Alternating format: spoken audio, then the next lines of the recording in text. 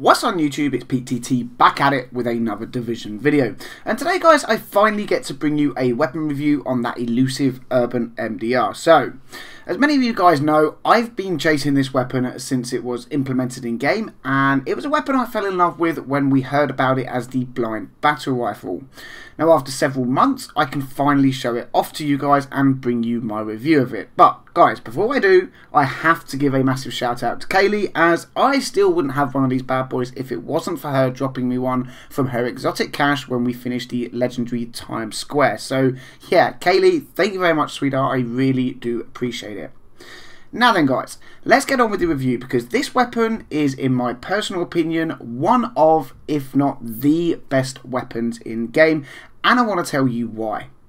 So, for those of you that don't know, this is the Urban MDR. It's a single fire assault rifle that has, with my personal firearms, 39.6k base damage, 350 rounds per minute, and 20 in the mag. Now, obviously, guys, these are the base stats and are subject to change depending on your personal stats and the way in which you choose to mod it. So then, as an example, with the mods I attach to the MDR, I can increase my mag capacity to 42 and my RPM to 368. And um, that's not too bad to be honest guys, especially to say that this is again a single fire weapon. Now then, let me answer a question for those guys that might be wondering, where do I get an urban MDR?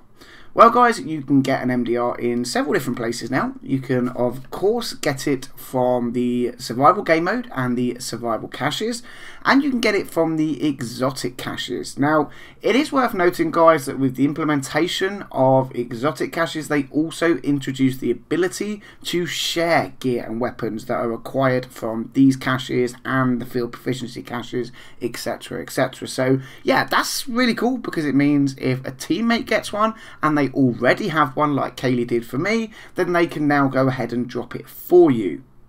Now then, as the 1.6 update changed all named weapons into exotics, I think it's also only right we take a quick look at the lore that goes with this weapon before we move on to the really cool bits that make this weapon so goddamn good.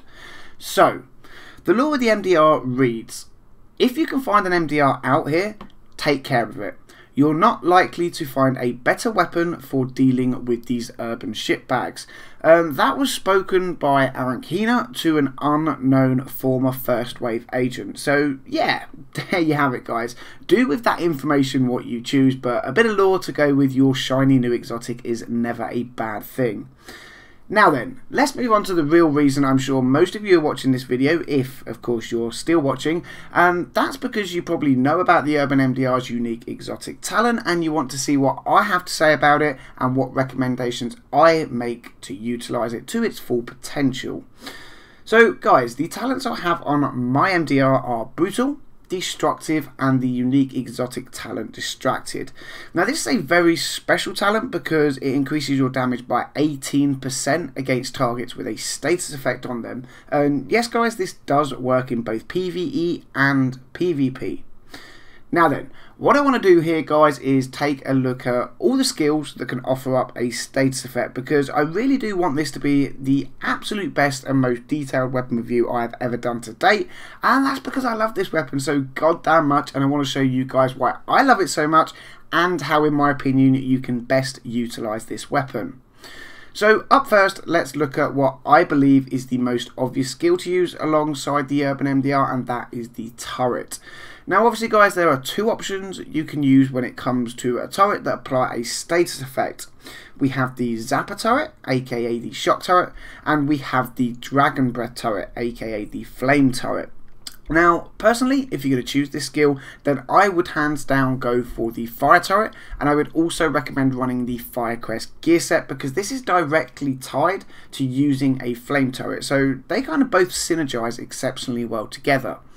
Now, these two skills aren't the only two skills that offer up the ability to apply a status effect, so let's look at our next contender, the Sticky Bomb.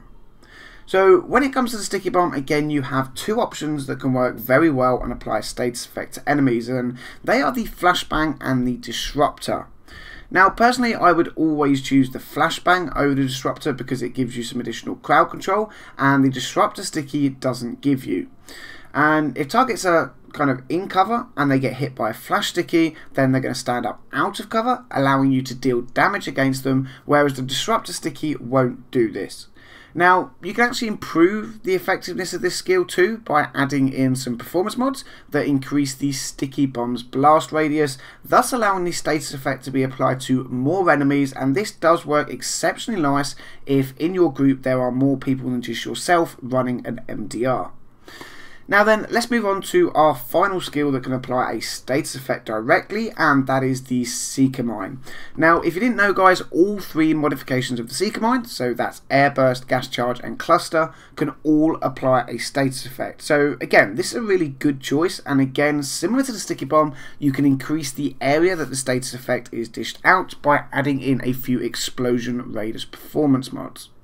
And that guys kind of wraps up the three main skills that can be used to apply a status effect. Now obviously there are several other ways in which you can apply a status effect to a target and they include things like incendiary, shock, flashbang, EMP and tear gas grenades.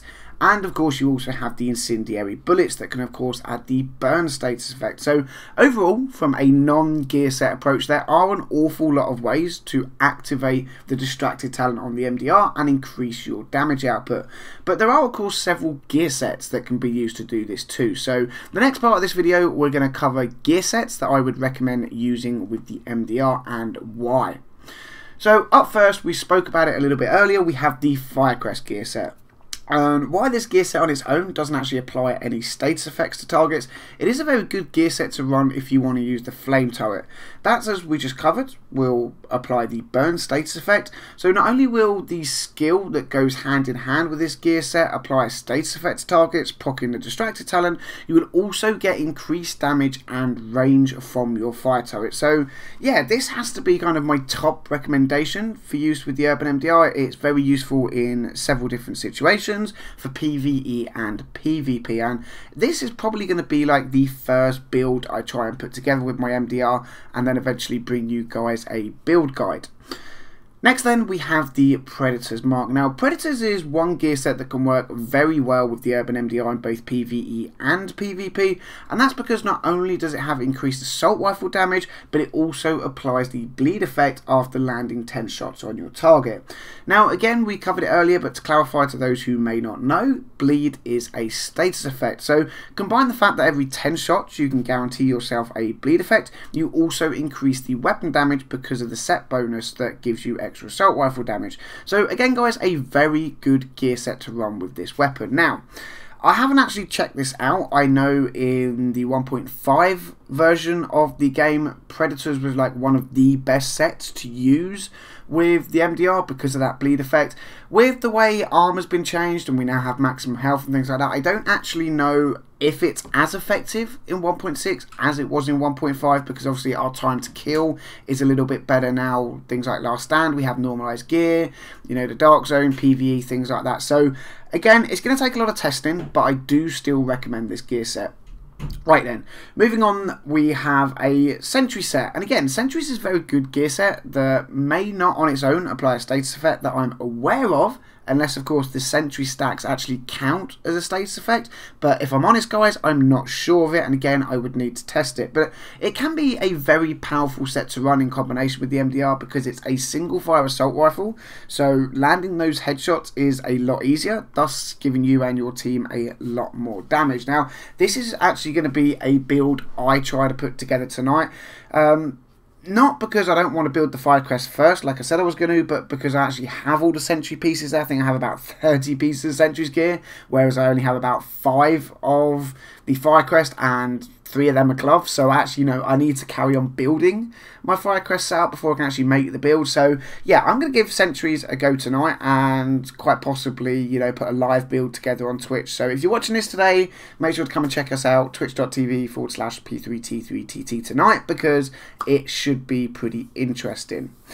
Now, obviously, guys, you can of course run any gear set you wish with this weapon, but I do highly recommend one of the three that we just covered because they are, in my opinion, the best options to use so that you can maximize your damage output. Now, you might be thinking I missed the whole high-end build, okay? High-end builds can be very, very, very good, okay? Especially if you're using the uh, Skulls MC gloves because they also increase your damage output. Um, but again, you know, I, I, need to do a lot of testing, guys. It's taken me so long to get my hands on an Urban MDR. I literally have like six videos I want to do, all surrounding builds on the Urban MDR and different ways to utilize it and play with it. So definitely stay tuned for it. Now then, let's move on and show you guys how I would recommend specking this weapon in terms of weapon modifications, alright? Because that is very important and can be very key to making the most of the damage. So, up first then, what are we going to do? We'll look at the scope first, okay? Here, I would recommend getting as high as possible headshot damage. Above the 16% mark would be good. I think like 18, 18.5% is the max.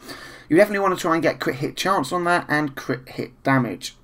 On the muzzle then, I recommend an Omega rifle suppressor with headshot damage, crit hit chance, and crit hit damage. On the barrel, I would say crit hit damage, possibly a very good one. Reload speed and accuracy. Now, reload speed is one of them. If you're happy with the reload speed of the weapon, personally, I would say maybe swap out for stability or something. But you know, it is one of them. The underbarrel can kind of come down to how you like to play and what kind of mods you want on it. Reload speed, yes, it, it's good. It fake increases your on-screen DPS if you at all care about that, but it doesn't actually really help with your damage. And you know, with 40 odd rounds in the mag, single fire, you don't actually need to reload that often. So it's not like the major must-have stat on one of the mods. But yeah, do with that as you would, guys. Uh, finally, on the magazine, I would go for mag size, crit chance, and rate of fire. Now, the reason I'm suggesting a setup like this, guys, is because the MDR, as we've said enough times now, it's a single fire weapon, so specking hard into headshot damage and having good crit chance and crit damage is really going to help you on the whole damage front. Now, whether you're actually playing in PvE or PvP, there will be a noticeable difference in your damage if you spec this way and you can land your headshots. Now, personally, guys, I've also got Brutal on mine. So that again increases my headshot damage. So yeah, you know, this is just one of them weapons. It can cater to various different playstyles. Um, I think you just kind of need to find your playstyle and then adapt how you mod the weapon and how you play depending on what gear set you're running, depending, you know, if you run as a team, what your actual team role is and things like that. But, you know, bottom line, guys, this weapon is absolutely fantastic. I played with it um, on the PTS. I fell in love with it. I've seen so many people playing with it through 1.5. I was like, this is the weapon I need, okay? I love single fire weapons. In most games, it allows you to be very accurate. They normally have increased damage than you know their counterparts being fully auto, i.e. in this game the Lightweight M4, the LVOA, the G36, things like that. And I think with the base damage increase we the Urban MDR got in 1.6, I definitely think it's up there now, and uh, it can be very, very, very powerful again for PVE and PvP. Now, guys, that is about going to wrap up this video. Hopefully, you guys have kind of got a good feel about this weapon as much as I do and kind of understand why I love it so much. Hopefully, again, I answered all your questions. But guys, if I didn't and you still have a question, make sure to hit me up in the comment section down below and I will do my very best to answer them. Now, again, I said it earlier, we're going to be live on Twitch tonight playing some Division, rocking through some Legendary mode and possibly some Last Stand. I'm going to try a Sentry MDR build, so come and check that out, see how it is going to go, guys. If you're new to the channel, smash that subscribe button. There are plenty more Division videos coming your way. Don't forget to drop a like on the video, guys, if you liked it. That is always appreciated and very helpful of me. And as always, agents, thank you very much for watching. Until the next video, I'll catch you all soon.